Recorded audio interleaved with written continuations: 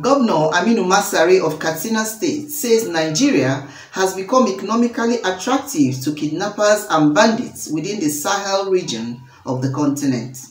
The governor, who recently spoke during an interview on Channels Television's Politics Today, strongly opposed the idea of granting blanket amnesty to the bandits, stating that the idea is enabling the miscreants to continue with their crimes. Masari argued that the security situation in the country has improved since the All Progressives Congress took the reins.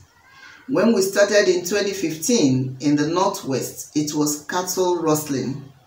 Gradually, it now developed into banditry, rape, kidnappings.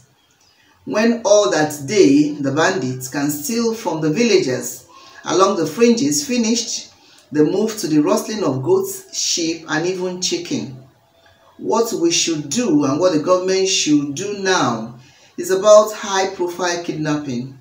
In my state, they kidnapped four relatives of very senior government officials. When they cannot get anything to sustain themselves, they resort to high profile kidnappings for money in cities and towns.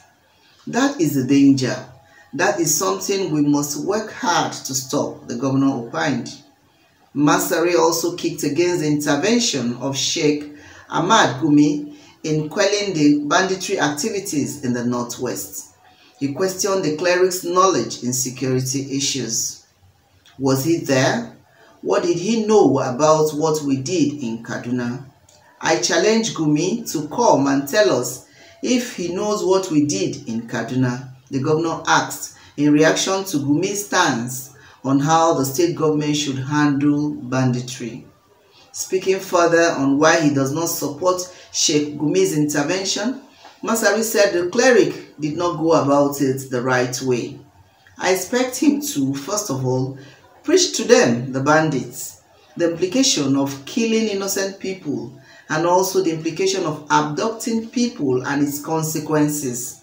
That is what I expect a clergyman first and foremost to do the governor said. From Lagos, this is Tina Timothy, News Express Nigeria Television.